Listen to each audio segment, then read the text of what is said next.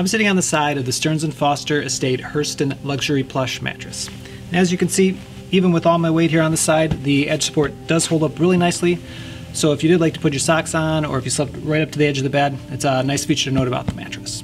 Laying on my back, it is a very comfortable feel. I'm uh, sinking in really nicely in all the normal pressure point areas. My lower back and shoulders are, are both really comfortable. Uh, so if you like a, a medium to medium soft feel and you have my body type, you'd probably do pretty well sleeping on your back.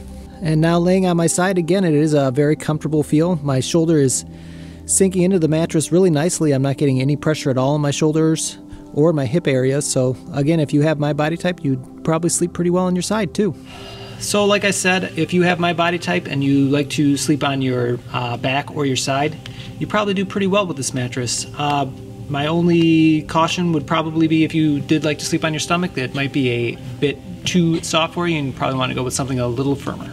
We hope this video was helpful, but if you do have any other questions, please feel free to reach out to us. We can be contacted at 1 800 455 1052. You can leave us a comment below, or you can reach out to one of our chat representatives during normal business hours.